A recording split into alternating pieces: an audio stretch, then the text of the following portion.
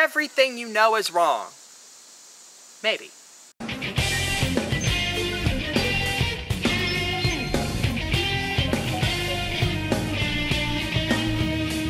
Well, really, not everything you know is wrong. My point there is it all could be. For all we know, we're a bunch of brains in jars being given simulated instructions on reality, right? But that's a little too extreme for the point I'm making. It's just to set the tone.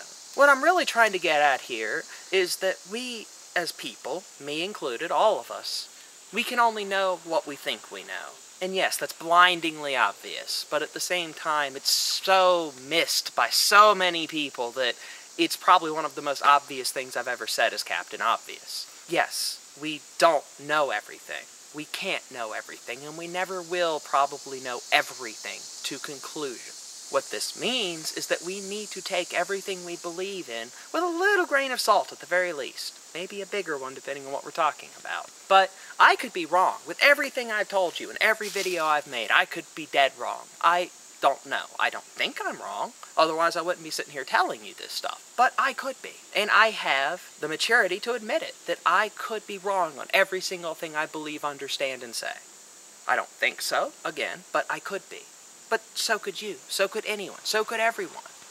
That is something we all need to grasp and understand and internalize. Not that we're always wrong or always doubt everything, but you should at least a little. But moderation, wink. Because, well, there's nothing lost by questioning things. There's nothing lost by sitting there saying, what if I'm wrong? Everyone sits there and says, oh no, oh no, I can't be wrong about this. This is what I believe, right? Well, take a step back from it. You believe it.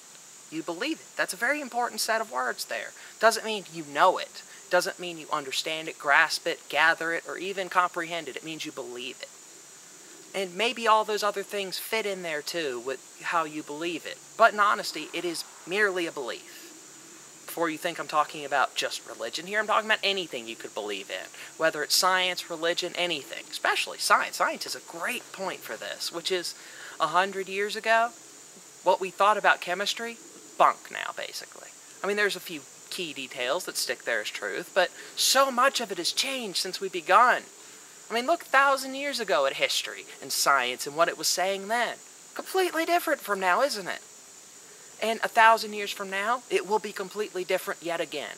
The things we have discussed here as revolutionary ideas, perhaps, the things that we believe are true and understood will be revealed to be completely different, perhaps. We didn't have an idea of what we were talking about. Quantum physics. We might have no idea how it works at all, and a theory a hundred years from now proves that our fundamental understanding of the universe was crap. This, to me, is a very good thing.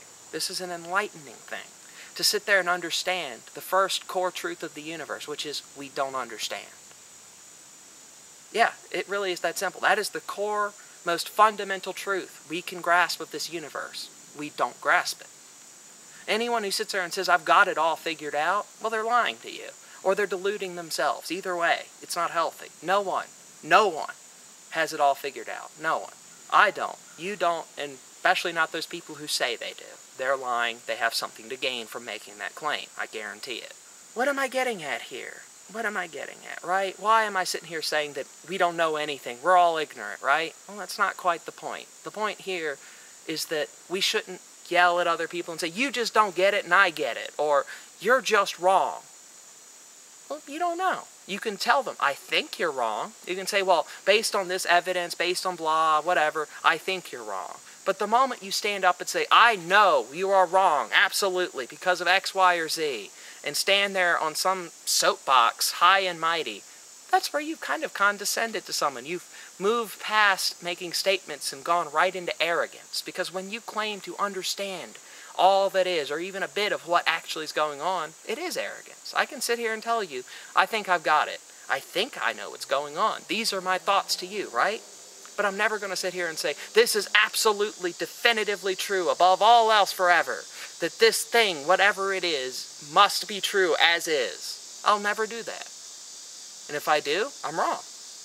Put that right there. I'm wrong. Because no one can know truly everything, or really anything. But instead of taking that as a negative, take it as a positive. All that means is that everything is there to be discovered. Everything is there to be discovered or rediscovered. It's all about the more you know, right? That old contrite little saying, the more you know. That's what this is actually all about. When you can sit there and say you don't know, that is the first step to actually knowing something.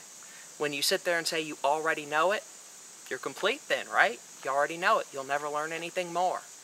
So always keep in mind that little point of the more you know. So keep knowing new things.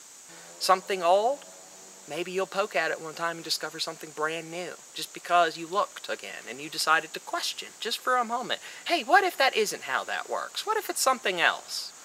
You would have no idea how many scientific discoveries come from that one thought. Hey, what if this isn't true, but instead that? Let's try it out. Seems like a flight of fancy. You know, everyone says the Earth's flat. How could it not be flat? But it isn't.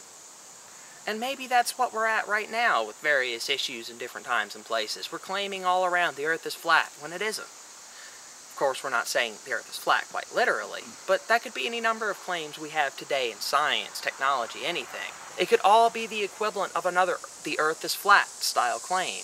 And you could be the one, perhaps, to sit there and say, but no, that's wrong, and I know why and then change the world just because you decided to question something a little more than other people.